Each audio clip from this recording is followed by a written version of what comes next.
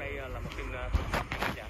À, hôm nay là chiều ờ, ngày à, 29 tháng 9 âm lịch à, nhằm ngày 31 tháng 10 năm 2024 thì à, được tin là sư Minh Tuệ đã được à, cơ quan an ninh đưa lên à, xe để mà chở chở à, đưa về về Gia Lai nha cả nhà.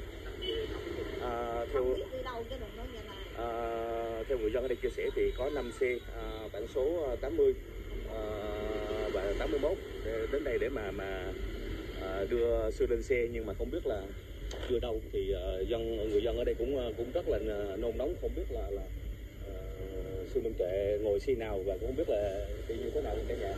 Và hiện tại thì có một số người dân thông tin lại là tại chốt của đường ờ, lên ờ, suối ngỗ chỗ nghĩa trang vĩnh phương chỗ nghĩa trang ờ, ờ, cao đài mọi người. Thì ờ, ờ, có 5 xe của ờ, lực lượng ờ, công an bản số ờ, 80 81 đã chạy vào trong suối gỗ và đã chạy ra lúc tầm khoảng 14 giờ 30 ngày 31 tháng 10 là nhằm ngày 29 tháng 9 âm lịch. À, thì à, theo thông tin thì khả năng thì à, sư Minh Tuệ đã à, được cơ quan chức năng à, chuyển về ờ, địa phương khác. Nhưng mà ờ, người dân cũng họ cũng không biết là là ở đâu mọi người. Và đây là một tin ờ, sốt dẻo cực kỳ sốt dẻo. Ờ, mình cũng ờ, thông tin để mọi người nắm. Và mình cũng ờ, thông báo luôn là hiện tại tình hình sức khỏe của sư Minh Tuệ vẫn ờ, mạnh khỏe. Thì người dân ở địa phương rất là yêu mến sư Minh Tuệ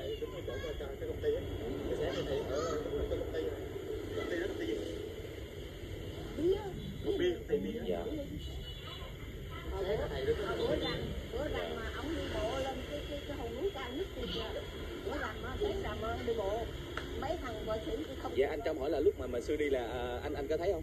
Không thuốc không biết là là mình có thấy xe không? Kia thì thấy mấy ở đây thấy xe nhưng mà người đâu có thấy đâu. Dạ. Ta đi lên ý là không không biết không biết là sư ngồi xe nào. Đúng rồi. Nhưng mà số lượng xe bao nhiêu ờ, xe chị? Năm chiếc hả? Dạ. À, là là năm chiếc xe này là bản số ờ, 80 81 đó thôi. Dạ. Thì mình à, bản số xanh nè Ờ, mình cũng thông tin lại cả nhà nha. À, để cả nhà yên tâm là sư Minh Tuệ ờ, tình hình sức khỏe thì rất là tốt. Ờ, và theo chia sẻ của người dân đây thì ờ, ờ, một ngày gần đây là sư sẽ về lại ờ, Đắk Lộc Vĩnh Phương để mà và cho bà con mình đảnh lễ. À như xuân không như xuân nha cả nhà. Cái bữa ngày rằm á, tôi đi lên trên chùa xuống ngõ á dạ. Mà mấy thằng không lại luôn mà tôi đi lỗi lắm dạ chị lúc mà mà mà sư lên xe thì ờ, lực lượng an ninh có đông không? Ở đâu trong đó cái đầu trong đó ở đây mình đi đâu biết. À. Ở đâu trong đó chốt trong á. Dạ. chốt trong thì à, xe đưa chốt trong Ừ. à, à. có nó là ở ngoài này ta biết xe vô thôi chứ không có biết biết. Biết cái xe đèn số xe đó đi vô ra vậy à nhưng mình là cái khả năng mình cũng cũng cũng ờ, nghĩ là sư minh tuệ sẽ đi thôi không thấy đúng không Ờ, ờ, không thấy dạ con mà hồi bữa sư lên chùa sư nói là cho con ở lại hai tuần là con đi. Dạ. hai tuần là đúng bữa nay là đúng hai tuần rồi. Dạ. Lên bữa rằm. Dạ. Bữa rằm lên chùa xuống ngõ Ông lên cao hơn chùa xuống ngõ nữa ở trên đó là người ta xây ờ, mười mấy cái góc rồi đó cho mấy sư ở ở trên đó có mấy sư đó đó thằng em mà sư nó ờ, ở Minh Thông với lại à, ba con mình biết sao thằng em mà nó ở nó ở nó ở nó làm hồ á Mình biết nó có cái chuyện này bữa đó nó, nó đi vô ba người. Chỉ xin đi được với ba ba nữ của mình đó là là, là nam thôi. Là lúc mà tới để đảnh lễ thầy thôi. Dạ. Thì bên mấy công an bên cái bắt đầu là một cái bắt đầu gì á Đi. bình thường với bình mình thường thôi cho đi lên. Cái điều kiện là không có cầm cái gì hết. Dạ. Đi lên để đảnh lễ rồi về lại đi xuống. Dạ. Thì khi mà lên đảnh lễ á thì cái đảnh lễ thầy thì bắt đầu thầy cái nhìn bốn người. Rồi thầy lấy một cho một cái người đó thôi. Cho một người đó. Dạ. còn ba người kia là không cho gì ồ dạ hả? Mà lúc mà vừa đảnh lễ xong là cái bàn nó có mừng thì trong bốn người đó có một mình mẹ là một tư. Cái bạn ung thư á cho Dạ. mình bạn à à. Mà thật ra nhìn vẻ không có biết ung thư mà mình khi đi xuống là hai bạn kia mất hồn mà. Ồ. Mà thầy nhìn nhìn cũng chẳng nhìn thôi. Cho đúng một người. Dạ. Mà cái người đó là ung thư ờ, ung thư Tôi nói, Thấy à, không? có nhiều cái mà mà có đi học đại biểu quốc hội thì là bây giờ mình còn hỗ trợ cho sư nhưng mà đưa cho sư tới một cái nhà nào là rất là an toàn cái dụ là, là đỡ cho một cho một người vô đánh đỡ thầy đi ra đánh đỡ thầy đi ra cái này có cái gì về á thầy sinh á nó nói một cái câu chuyện này nó xin phép đỡ cô thử làm 12 giờ Rồi nó quay thử là cái, cái, cái, cái chuyện mà tu tập của thầy sao dạ mà vừa vô đó bước vô nó là đau bụng này chóng mặt ồ vậy hả đi đi, đi ra dạ đi ra hỏi cái là là là mới cách đây cũng phải là đúng không đi ra cái là hết đau bụng chóng mặt mà vô lại cái là bị Ủa, cúm thì gọi đó Đâu mà linh dữ à không có thành thử này này đâu cách đây là tháng là ở ngoài bắc á. Dạ chị. Có cho, mà cho em, em hỏi là nếu mà mà sư sư đi như vậy á thì à, như chị là người dân đây chị thấy có buồn không? Không có gì buồn hết. Thì sư mình chỉ là bảo vệ sư để cho sư tu tập cho đi à, mỗi chỗ để cho sự qua. Cho sư đi mỗi chỗ ít tháng ít tháng đỡ quá duyên cho Dạ, mình, dạ. à, mình ở đây hôm nào nay nọ em cũng hy vọng là là nay mai sư sẽ về lại cho bà con mình đánh lễ. Dạ đánh đỡ thì không nói mà sợ cái lộn xộn này Ờ, cũng ờ, hy vọng là là sư sẽ quay lại ờ, thôn Như Xuân Đắc Lộc. Ở sư thôn Như Xuân của Vĩnh Phương để mọi người ờ, cùng đảnh lễ uh, gieo duyên với sư và cả nhà. Thì ờ, mình cũng xin thông tin lại là hiện tại là sức khỏe của sư ờ, rất là ổn định. Dạ.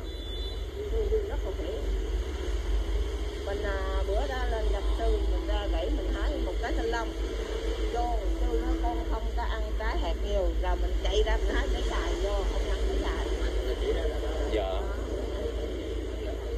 Ờ, theo thông tin là mình ờ, cũng không có khẳng định 100% là sư đã đi hay chưa đi nha mọi người.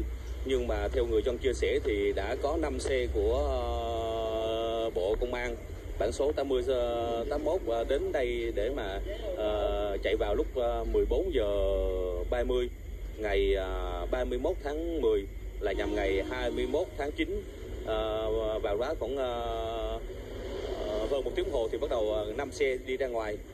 À, thì uh, mình ờ, người dân cũng không thấy là sư Minh Tuệ có ngồi trên xe hay không.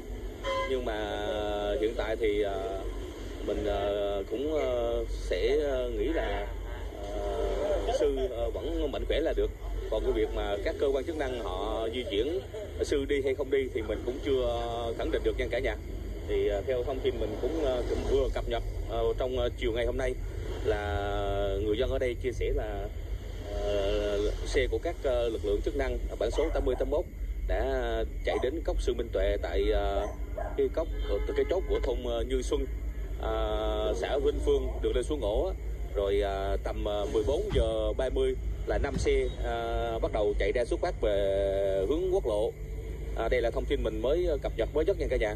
Và mình sẽ à, cập nhật thông tin à, tiếp theo cho mọi người. À, cảm ơn mọi người. Mọi người hãy à, tiếp tục à, tiếp tục theo dõi cái kênh của mình để mà